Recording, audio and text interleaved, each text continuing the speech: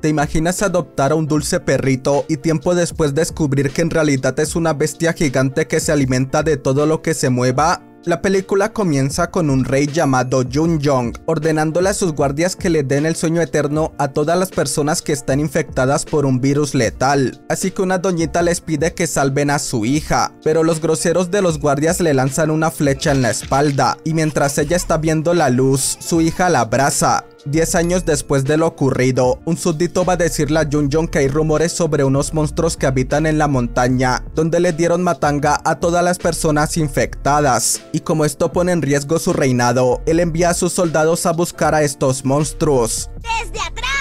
como el cobarde que soy. Por otro lado, unos chicos llamados Sun y Jung ayudan a una chica llamada Mi Jung a cazar peces para comer, pero por desgracia los compis no lo logran, así que mejor regresan a su aldea, donde un ex guardia del rey llamado Hur va a visitar a los lugareños, y cuando Mi Jung y él cruzan miradas, ambos se enamoran a primera vista.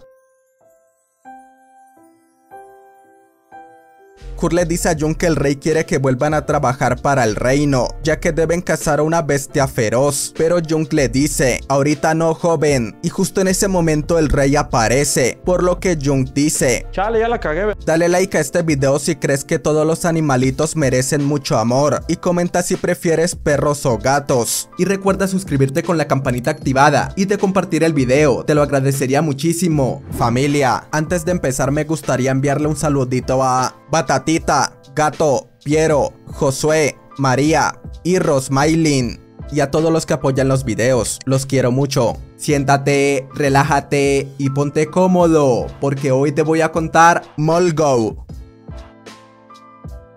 el rey le da su espada a Jung y le pide que luche por su pueblo una vez más, a lo que el pana acepta, pero más a huevo que por gusto, ya que hace 10 años atrás, él había encontrado a la hija de la doñita que murió y la llevó al palacio para que Jung Jong se diera cuenta de que el virus no era contagioso, pero como el don se sintió amenazado, él le ordenó a Jung que dejara su espada y se marchara del castillo con la pequeña, quien resulta ser Mi Jung, solo que ella no lo sabe. Volviendo al presente, Jung y se dirigen a la capital llamada Hanyang, donde les dicen que la bestia atacó a unos chamanes en el bosque y que hay una pequeña como testigo. Así que Jun le pregunta a la pequeña qué fue lo que pasó, a lo que ella le dice que los chamanes estaban haciendo un ritual de protección, cuando de repente una bestia los atacó y les dio matanga. Tengo miedo, tengo miedo. Y al terminar de contar la historia, ella le pide a los chicos que no le digan a nadie más, ya que todos los lugareños no están yendo a trabajar por culpa del miedo y que eso está provocando que no haya comida en la comunidad. Así que Jung le dice, tu secreto está salvo conmigo. Más tarde, los chicos reciben información de que una bestia volvió a atacar en el bosque. Así que Jung y Hur van corriendo hacia la escena del crimen. Y al llegar ven que todo está hecho un desastre. Así que ellos toman el cuerpo de un don y lo llevan a la morgue para examinarlo. Y para su sorpresa, descubren que un humano es quien está cometiendo esos crímenes. Y los está haciendo pasar por el ataque de una bestia. No mames.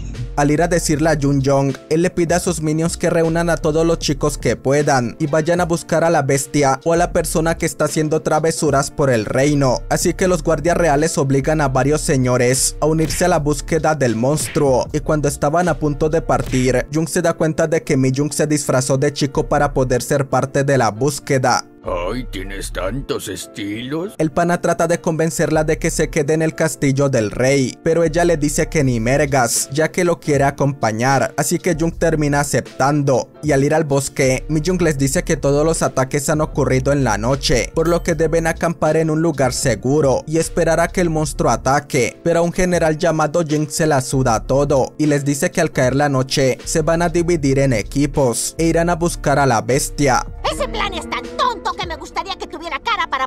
Si llegaste a esta parte del video, comenta qué nombre le pondrías a una mascota mitad bestia. Más tarde el ejército se divide, pero unos segundos después, los demás escuchan el grito de un compita, así que todos van en chinga a ver qué fue lo que pasó, y al llegar a una especie de cueva, ellos ven que la bestia atacó al equipo 1, y al voltear a ver el piso, los demás se quedan tiesos al ver una pisada gigante.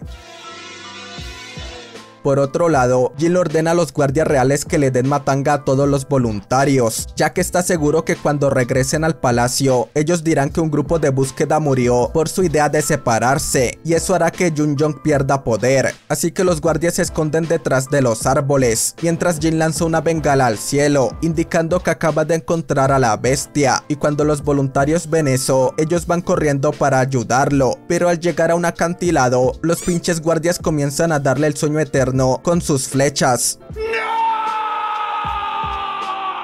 Al ver lo que está pasando, Jung le pide a Jin que detenga el ataque, pero el desgraciado lo atrapa, al igual que a Mi Jung y a Sun, y les confiesa que ellos fueron los que le dieron matanga a los chamanes y otras personas más, y que luego corrieron el rumor de que una bestia vivía en el bosque, y que esto lo hicieron para que la población se redujera, y así Jung no perdiera poder, y también le revela que hace 10 años atrás no existió ningún virus, sino que ellos lo inventaron todo, para tener una excusa para dejar tiesas a las personas. Y al escuchar esto, Jung les dice que los va a matar, pero Jin se burla y lanza a Sun y a Mujing por el acantilado. ¡Ahí te voy, San Pedro! Pero por suerte, cayeron sobre una roca, la cual los está sosteniendo. Mientras Jung está llorando porque piensa que ellos murieron, una bestia sale de la oscuridad del acantilado y comienza a hacer papilla a los soldados de Jin. Por otro lado, Jun baja al acantilado y se da cuenta de que Mi y Sun siguen vivos y en es un don que supuestamente estaba muerto les dice que deben llenarse de baba de monstruo ya que de esta manera el perrito no los va a poder olfatear y también les informa que el monstruo es ciego y justo en ese momento el bicho regresa a su casita y se vomita encima de Mi Jung. Guácatelas, qué asco. Mientras el perrito se queda dormido, los chicos le meten el turbo para escapar, pero en eso la bestia los escucha y comienza a perseguirlos.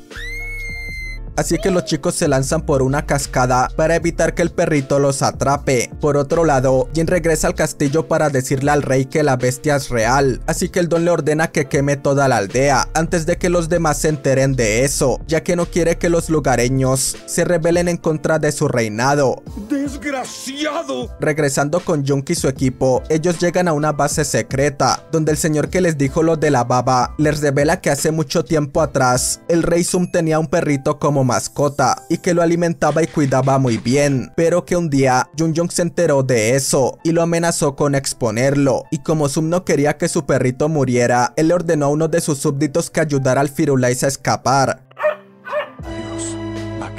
y tiempo después, el perrito regresó como una bestia gigante y comenzó a atacar a todos los minions de Jung, así que para controlarlo, un don tomó la sonaja favorita del perrito y la usó para meterlo en una jaula, pero como el Firulais se dio cuenta, él se emputó y Piki hizo papilla al don y luego rompió la jaula para seguir haciendo desmadre. Al terminar de contar la historia, Junk y los demás van al castillo del pana para decirle que lo más seguro es que Sun vaya detrás de él, pero en vez de que Jun Jong les agradezca por decirle, el desgraciado le ordena a sus guardias que los atrapen. Hijo de perro. Por otro lado, Sum le ordena a sus minions que incendien la aldea, ya que le informaron lo que Jun Jong quería hacer, y el pan aprovechó el desmadre para adelantarse y así poder culparlo. Y mientras las personas están huyendo, Sum convence a los sobrevivientes a ir al castillo del rey para rebelarse, y les promete que cuando gane les dará asilo, así que todos aceptan y van al castillo, donde Sum le lanza una flecha al rey en el hombro, y como Jung quiere proteger a Jun Jong, él se libera y le pide a los guardias que se lleven al rey a un lugar seguro. Y justo en ese momento, el Firulais llega a hacer desmadre en el palacio, por lo que Sum le ordena a los guardias que lo atrapen, y cuando pensaban que lograron detener al monstruo con unas cuerdas, el bicho se desata y los desintegra. Al ver lo que pasó, Sum se molesta y termina revelando que él fue quien quemó la aldea, y al escuchar esto, Jung se emputa y le pide a los lugareños que encierren a Sum en el castillo para que la bestia se lo coma. Virgencita Santa que estás en el cielo, santificado sea tu nombre, proclamados los Y para atraer al perrito, Jung lanza una flecha que se está incendiando al cielo, y cuando el pana entra al castillo, este se come a Sum. Mientras que Mi Jung le dispara a Jin, ya que ella recordó que ese desgraciado fue quien mató a su mamá. Poner la basura en su lugar. Después de lo que pasó, Jung le pide a Sun que saque a Mi Jung del castillo, ya que va a activar una boom. Y también le pide que cuide a Mi Jung en caso de que él no regrese. Y cuando el perrito se lo iba a comer, Jung activa el boom y mientras Mi Jung y Sun están saliendo del castillo, ella se da cuenta de que su papá adoptivo, o sea Jung, acaba de estirar la pata. Después de lo que pasó, Mi Jung escucha que alguien está respirando debajo de unas tablas de madera y al quitarlas, se da cuenta de que es Jung. Tiempo después, Mi Jung se casa con Hur y decide vivir en el castillo junto a él, así que Jung y Sun se despiden de ella y prometen ir a visitarla pronto, y nos enteramos que después del desmadre, Jung Jung huyó del reino junto a sus guardias, y al final, Sun le pregunta a Jung cómo fue que logró sobrevivir a la boom, a lo que él le dice que antes de que todo explotara, él salió volando del castillo con una cuerda y un arnés, a eso yo le llamo estrategia. Soy tu fan. Y así es como finaliza esta historia. No olvides comentar cuál fue tu parte favorita de la película. Agradecería mucho que dejaras un me gusta y te suscribieras para más videos como este. Comenta qué te pareció esta película y qué otras películas te gustaría que resumiera. Recuerda seguirme en mis redes como Facebook, Twitter e Instagram y de compartir este video. Gracias por ver y te espero en el próximo video.